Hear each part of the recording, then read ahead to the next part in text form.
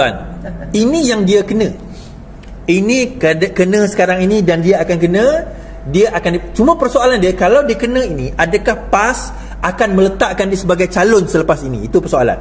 Adakah PAS akan meletakkan calon selepas ini? Ditambah pula dengan skandal baru. Ui, terlalu banyak skandal ini tuan-tuan. Saya baca dokumen yang disebarkan oleh Malaysia Forward. saya bawa dokumen yang disebarkan oleh Malaysia Forward. Baru-baru ini mendedahkan juga Sanusi juga terlibat dengan persokongan bagi mendapatkan pas lawatan ikhtisas bagi tenaga kerja teknikal pengurusan dan profesional daripada China untuk kerja-kerja penjelajahan dan penyediaan awal pemasangan infrastruktur galian mineral di negeri Kedah REE dia nak bawa pekerja daripada China datang ke Malaysia minta pas. Dia minta kat siapa pada masa itu? Hamzah Zainuddin dia minta tuan-tuan kita kena ingat eh apa yang berlaku dekat Kedah. 52 lelaki ditahan peneroka nadi bumi secara haram di Kedah termasuk di tempat di mana dun beliau sedang di mana dun eh, beliau menjadi adun di dun tersebut kita kena ingat juga kenyataan Fadilah mengatakan 60 lombong haram dikesan di mana majoritinya berada di dalam negeri Kedah. Lombong apa? Lombong REE. Dalam satu kenyataan lain, lombong haram macam kubu perang dekat Kedah, dekat Sik Kedah tuan-tuan, macam kubu perang. Inilah dia kononnya bangsa dan negara tetapi dia dok tuduh abang dia pergi lawan dengan you tuan-tuan eh? You lah sangat. You I you and I ha. Rumah juta-juta. Sekarang pergi siasat. Rumah juta-juta itu datang daripada mana? Adakah datang daripada tempat sesuatu? Adakah datang daripada projek-projek tertentu? Adakah adakah adakah? Adakah ini juga yang saya nak bawa juga tuan-tuan? Malam ini Sanusi lagi banyak cerita Hai, banyak betul cerita Sanusi ni tuan-tuan. Cerita apa cerita Sanusi? Ni saya nak bawa. Kenyataan yang dikeluarkan oleh Menteri KDN berkenaan dengan Sanusi. Ah, okey. Saya nak bawa cerita ni Menteri KDN kata apa? Okey, kita mainkan kenyataan ini. Jap. Ha, sebelum itu. Ada satu kenyataan, saya akan dedahkan. Menteri KDN kata. Share dulu. Okey, saya keluarkan. Ya, saya akan uh, mulai hari ini akan mula uh, mendedahkan satu persatu. Uh, saya politik pun lama. Uh, belum pernah jumpa lagi watak macam ini. Uh, belum pernah. Uh, ini watak yang luar biasa. Ya. Uh, bangkali beliau terbawa-bawa uh, kerana dikatakan beliau uh, sangat popular. Uh, orang Kedah suka. Jadi membawa pada tahap bahawa uh, dia percaya he can do no wrong ya dia dah sampai tahap itu. Ya naik saja pentas politik uh, tak langsung mempamerkan uh, akhlak uh, seorang muslim. Tak ada langsung. Saya fikir dia perlu tumpukan kepada menguruskan negeri sebelum ini. Ya saya akan uh, mulai hari ini akan mula uh, mendedahkan satu persatu. Tapi saya tidak akan menyerang peribadi dia. Saya akan sebut bagaimana lemahnya pengurusan keuangan kerajaan negeri Kedah. Misalnya ya lemahnya tahap mana lemah sehingga uh, peruntukan duit maris yang sepatutnya mengikut perlembagaan dan mengikut undang-undang hanya boleh uh, menjalankan aktiviti menyelenggara jalan raya seluruh negeri Kedah. Nilai jumlahnya 1.6 bilion. Tapi apa yang Menteri Besar Sanusi buat? Ya, dia gunakan duit maris itu untuk uh, tujuan pembangunan yang menyalahi semua uh, tata kelola kewangan kerajaan yang uh, bercanggah dengan uh, maksud duit maris itu seperti mana yang dinyatakan dalam pelbagai persekutuan. Sebab dia pemberian wajib kerajaan persekutuan. Dan akibatnya uh, audit negara ketua audit negara menegur kecacatan dari segi pengurusan kewangan. Ya. Dan uh, biasanya negeri yang mengamalkan uh, per, uh, uh, perkara seperti ini adalah kerana kutipan hasilnya sangat kecil. Ya kutipan hasil kecil kerana dia tak dia bermain politik. Dia tak memerintah negeri ya, dia bermain politik. Jadi hasilnya sekitar 470-an juta. Ya tapi dia bila dia menerima dana maris peruntukan tetap mengikut perlembagaan oleh kerajaan persekutuan yang berjumlah 1.6 bilion dia malah menggunakan sebahagian uh, duit itu untuk uh, tujuan pembangunan. Sepatutnya penyelenggaraan jalan raya.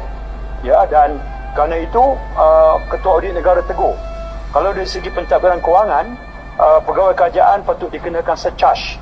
Ya dan kerana itu uh, dia telah meminta uh, dengan uh, Menteri Kewangan supaya kerajaan Kedah diberi dibenarkan untuk memindahkan duit maris kepada akaun pembangunan. Dan kesemua uh, uh, ulasan oleh uh, apa nama penasihat undang-undang ya uh, termasuk penasihat undang-undang negeri mengatakan perkara itu tidak boleh berlaku tidak boleh dilakukan. Itu isu governance. Uh, uh, dia pemimpin parti Islam. Dia patut tahu tata kelola yang betul ada negara ni ada disiplin dalam menguruskan. Dan biasanya negeri yang buat begini adalah kerana hasil dia kecil. Okay. air tadi.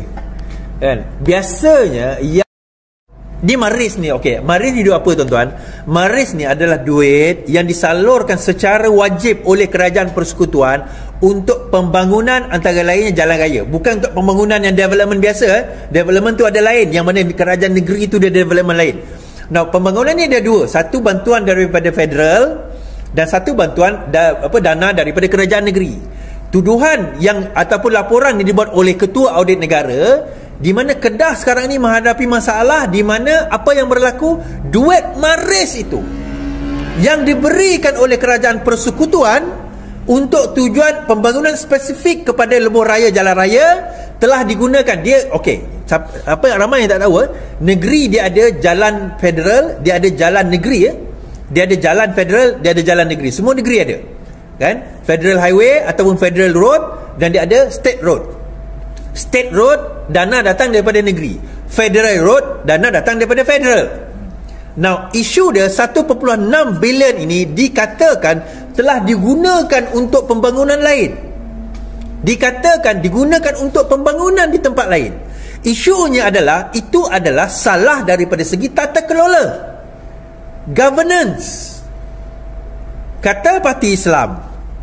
So hari ini Sanusi jawab dia kata dia dah cek tak ada salah tak ada masalah. Dengar cerita dia nak saman pula uh, Saifuddin. Saman lah tak ada masalah. Saman tak ada masalah. Tetapi apa yang audit tu tegur? Audit tu tegur dia audit ni tuan-tuan. Dia dah pergi dia dah check dia dah semak. Sebab itu dia buat laporan. So dia memang kalau kita tengok tak salah. Daripada segi undang-undang bukanlah satu kesalahan undang-undang. Tetapi dia salah daripada segi tata kelola dia salah daripada segi governance. Salah daripada segi pentadbiran. Menunjukkan apa? Selama Sanusi memerintah dia tak berjaya pun membawa pelaburan yang terlalu banyak.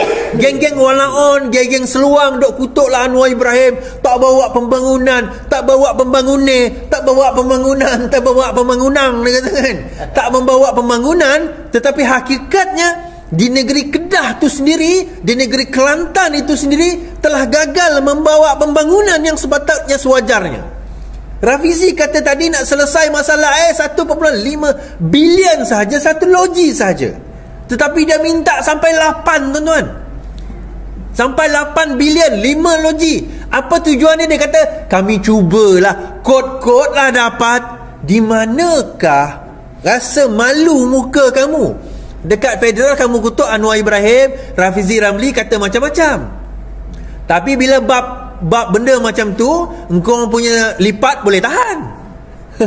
Engkau punya main boleh tahan. Dekat mana engkau punya integriti? Dekat mana engkau punya apa orang kata rasa malu terhadap duit rakyat yang kamu nak gunakan duit rakyat yang kamu nak gunakan di manakah integriti dan di manakah perkara tersebut boleh berlaku dan bakal berlaku? Sebab itu tuan-tuan kita nak kata kita nak kita nak tonjolkan eh, bahawa daripada segi pemerintahan daripada segi pentadbiran daripada segi orang kata apa tata kelola sebenarnya PAS tak boleh. Uh, bila beberapa hari lepas?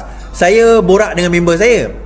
Dia kata tuan-tuan PAS ni ceramah agama boleh lah ha? ustaz-ustaz PAS ni ceramah agama boleh. Tapi ustaz-ustaz PAS nak mentadbir nak me, orang kata apa me, orang kata apa me, mentakbir ataupun apa tu? Nak mentakbir ataupun nak nak apa orang kata nak me, me, menjadi tata kelola nak menjadi orang kata apa orang yang boleh menjadi pengurus yang baik kepada sebuah negeri tak boleh.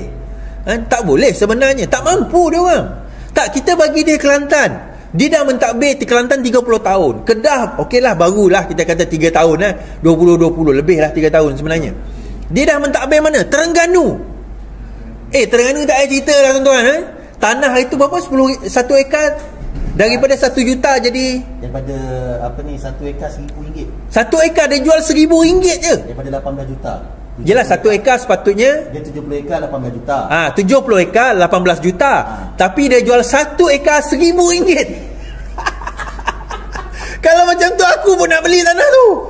Dan ini didedahkan oleh siapa? Oleh Mat Said di dalam Dewan Undangan Negeri sendiri ya. Dalam ceramah beliau pun ada kalau tak salah saya. Baik. Itu saja terima kasih 12,000 yang menonton kita pada malam ini. Alhamdulillah. Sekian saja daripada saya. Sebar luaskan.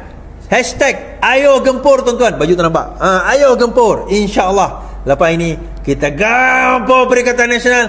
Pastikan mereka tumbang. Kita bawa perubahan lebih baik. Ingat tuan-tuan Kita mengundi Bukan mengundi agama. Kita mengundi Kita mengundi parti politik. Sekian saja daripada saya. Kita jumpa lagi. Yang penting Lawan. Tetap Lawan. Assalamualaikum. Takdir